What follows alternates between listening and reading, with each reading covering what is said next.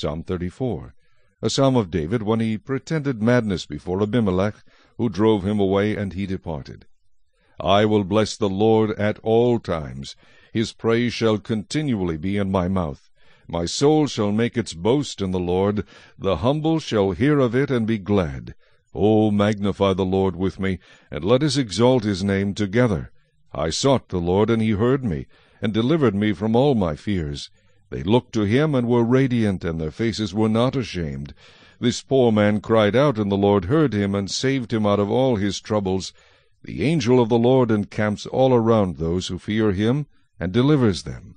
O taste and see that the Lord is good. Blessed is the man who trusts in him. O fear the Lord, you his saints. There is no want to those who fear him. The young lions lack and suffer hunger, but those who seek the Lord shall not lack any good thing. Come, you children, listen to me. I will teach you the fear of the Lord. Who is the man who desires life and loves many days, that he may see good? Keep your tongue from evil, and your lips from speaking deceit. Depart from evil, and do good. Seek peace, and pursue it. The eyes of the Lord are on the righteous, and his ears are open to their cry. The face of the Lord is against those who do evil, to cut off the remembrance of them from the earth. The righteous cry out, and the Lord hears, and delivers them out of all their troubles.